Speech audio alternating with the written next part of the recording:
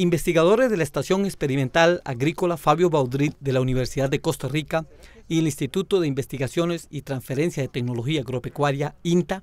producen semilla híbrida de chile dulce nacional que beneficia a agricultores de Sarchí, Zarcero y la de Alajuela.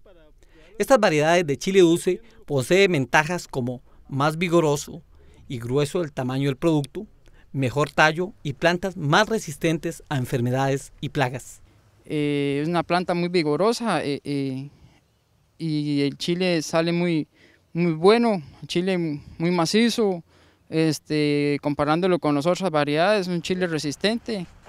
Estas variedades de semilla de chile dulce híbrido nacional se obtienen a partir de dos parentales que poseen genética uniforme que favorecen un mayor rendimiento al productor y al consumidor. Nosotros lo que nos, quisimos enfocar fue utilizar esa batería de genes y complementarle genes que le dieran tolerancia a nuestras eh, enfermedades tropicales específicas, que no necesariamente son genes que vienen con la semilla importada. Este proyecto investigativo es un trabajo estratégico entre especialistas de la Fabio Baudrit y del Instituto de Investigaciones y Transferencia de Tecnología Agropecuaria y el Ministerio de Agricultura y Ganadería,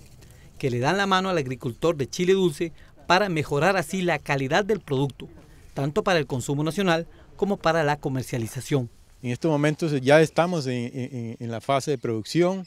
eh, en la fase de determinación del costo de la semilla, que de hecho va a ser este, más baja que la semilla importada. Y estamos trabajando en, esos últimos detalles para poder aportar a los agricultores del consorcio esta herramienta tan útil que va a ser la entrega de una semilla híbrida nacional.